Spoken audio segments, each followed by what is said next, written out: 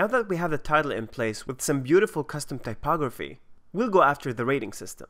Imagine we get the rating from Rotten Tomatoes or IMDb, and we want to lay that out on our app. So we'll be using another semantic UI construct called rating.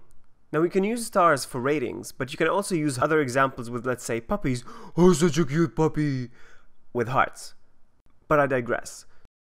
So we'll copy paste the markup for showing ratings and remove the heart so we can stick to stars and apply the huge style so we get larger stars showing.